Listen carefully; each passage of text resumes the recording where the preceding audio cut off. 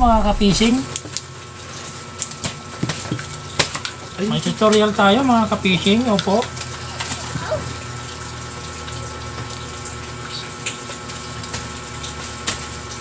Wash out muna tayo. Shoutout nga pala sa ating mga taga-supporter kay Juanito Modalo.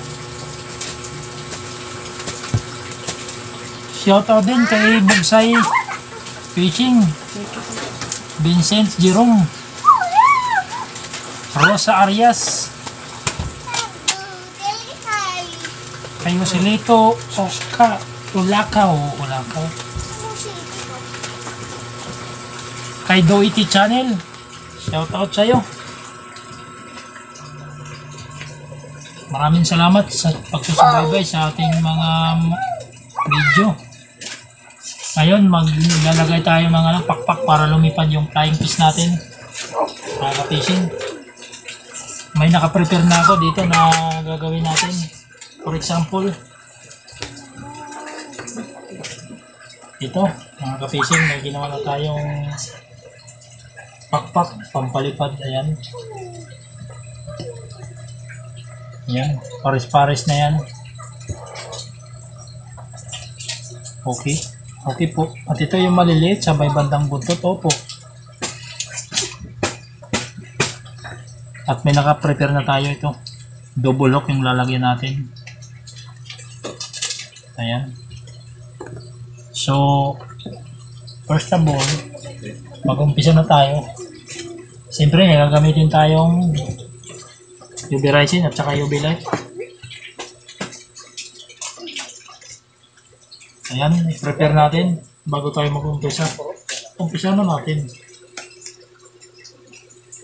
Sabit natin lang para sabay-sabay yung paglagay. Ganyan. Ito yung pinaka-holder natin. Kulobe lang tayo po. So,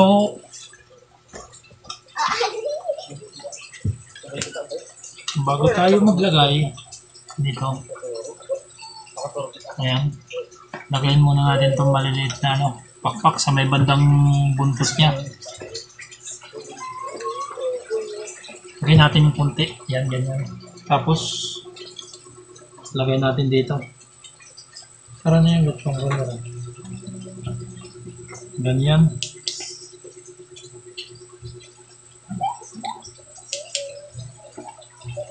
Kung maliliit. Lagyan ulit. Tapos lagay. Mas maganda nakasabit yung yun, bumitaw. Lagyan natin ulit para maganda. Tingnan. Ganyan lang para pantay. Kailangan nakasabit yung hook para hindi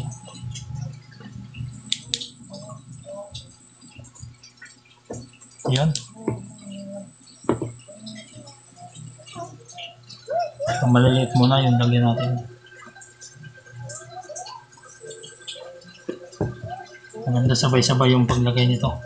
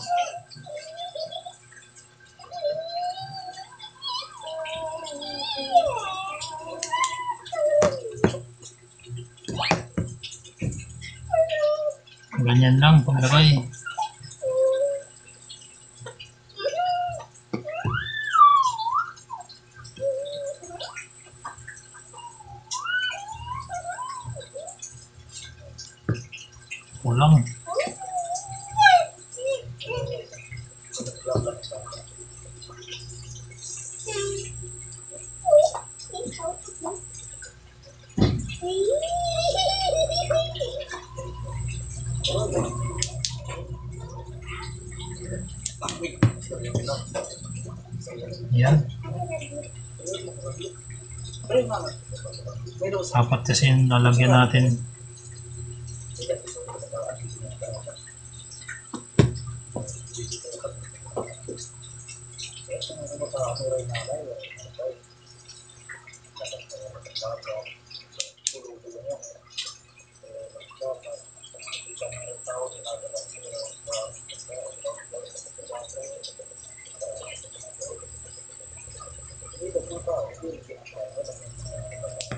Tanggal.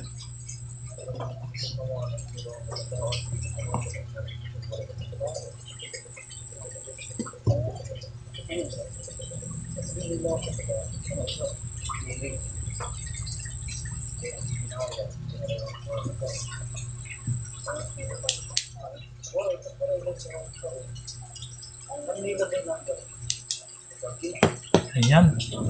Isa na lang.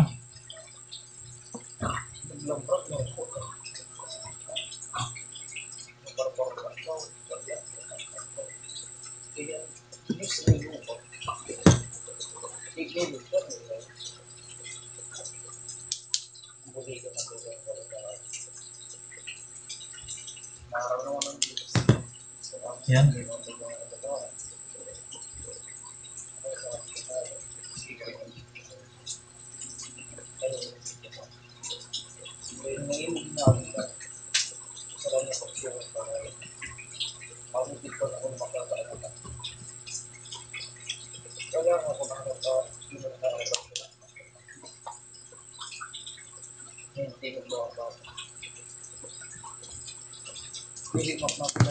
Ayan, namitit.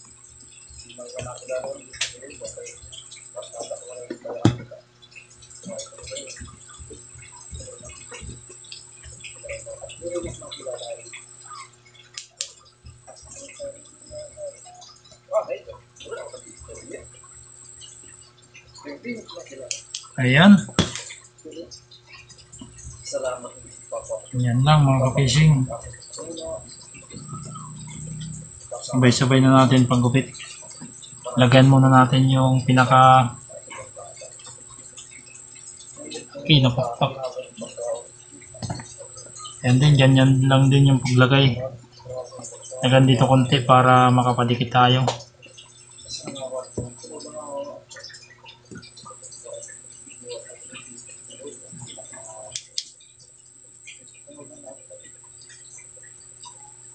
Yun. Kaya ano yung mga tao. Yung nakikita yung mga nagtatanong tao. Isa lang sa inyo, meron. Meron. Ang dami ng mga tao.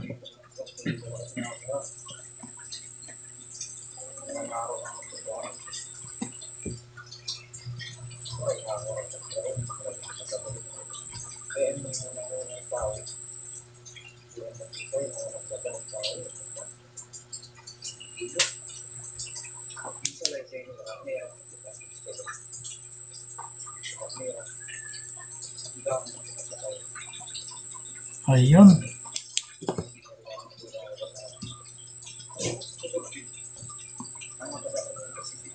Dito ulit lagyan.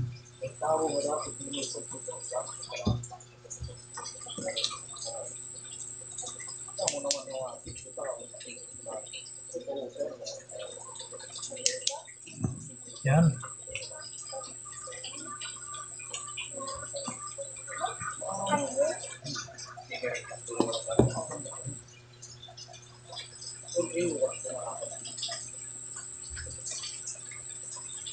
ko sa Ako. Wait, yung mga buko.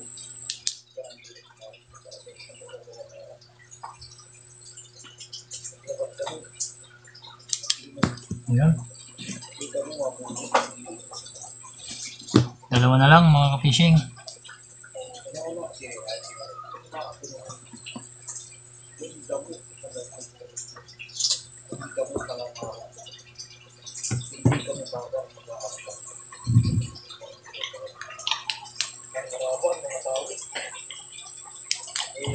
Ganun lang.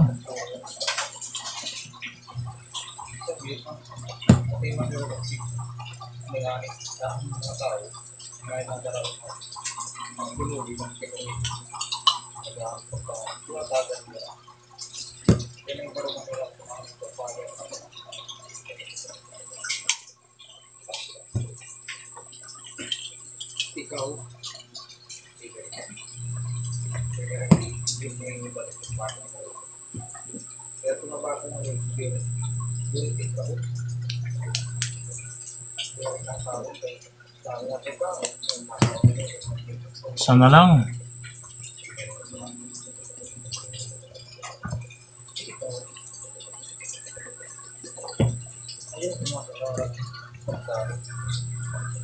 Ayun, yung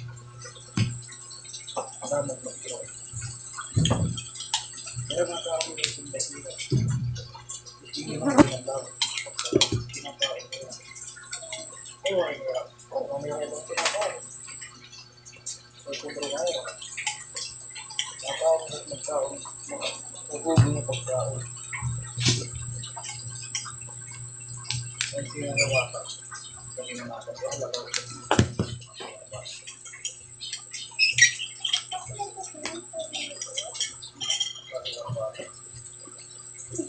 Tanggal.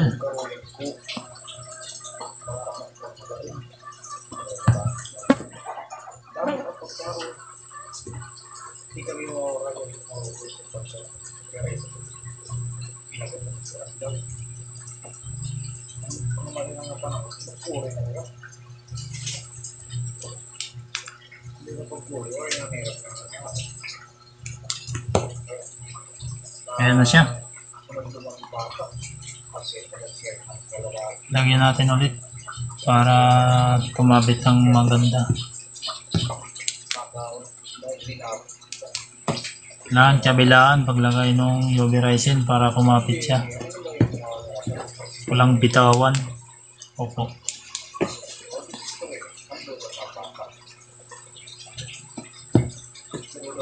Madam, okay?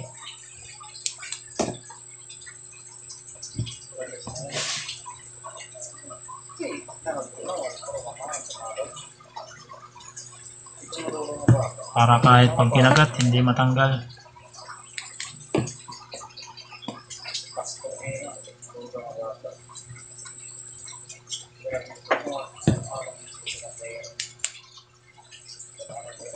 Ayan siya, oh. Maganda. Dubulok siya. Pagkabising, ayan.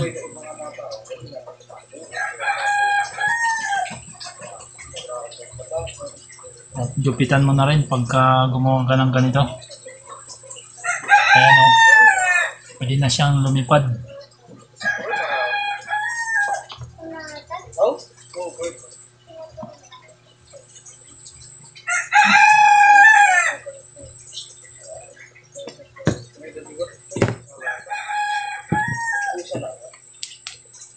Ganun lang din sa ginawa ko nung una.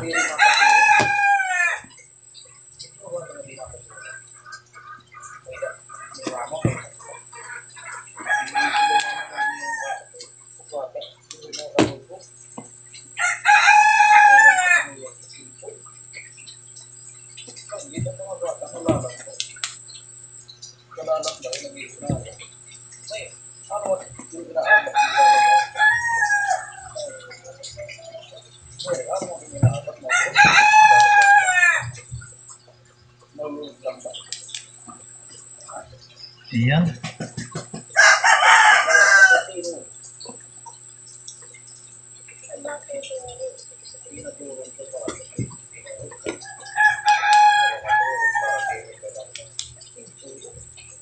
Nakuha niyo sana yung paglagay ng pakpak. Kasi dito kayo medyo mahirapan ng konti. Kasi kailangan paglagay nito balance para hindi siya umikot. Parang kailangan silipin. Panilip. Silipin kung nasa katuwiran. Paglaban ayan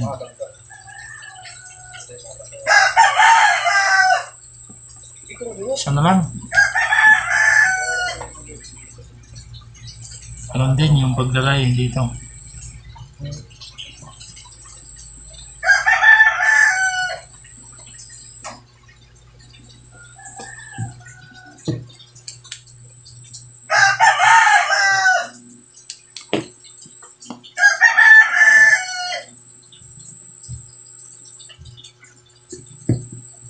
Yan.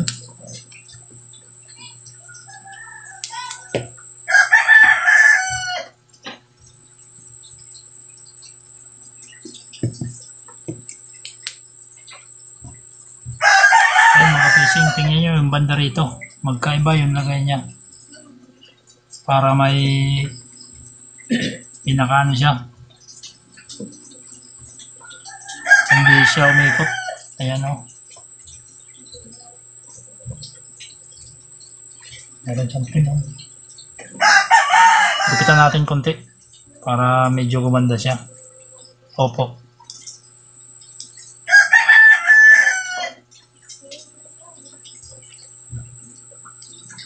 Ayan.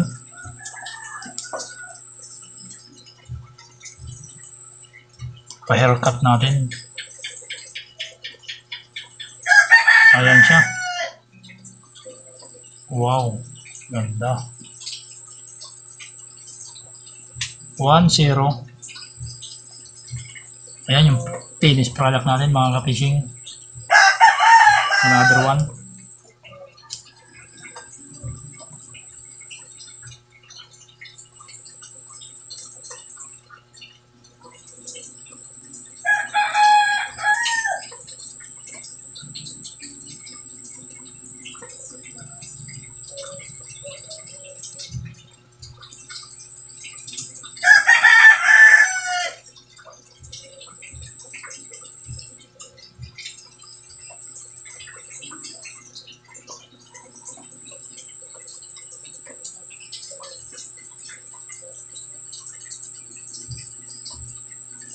Yan.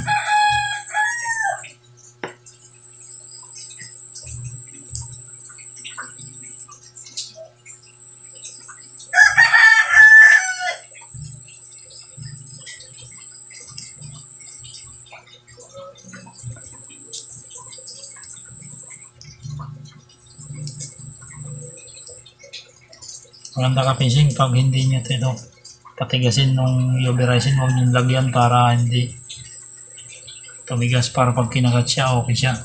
Ayan. Pwede nang lumipad.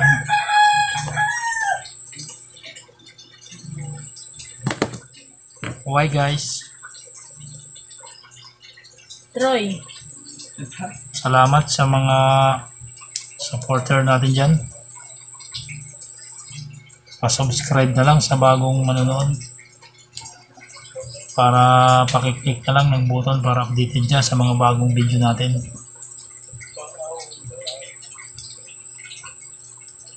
Madami na salamat. Sa aton.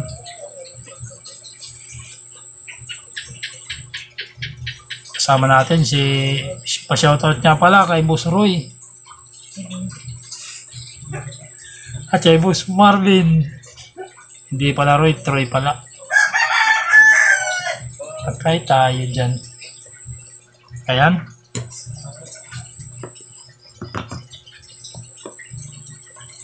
Ayan siya mga ka-fishing. Ayan yung ginawa natin. Parang saranggula wow ganda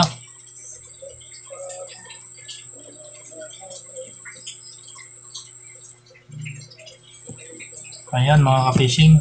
So ayan, maraming salamat sa mga viewers. Thank you ng Biri. Sa susunod ulit. Bye-bye.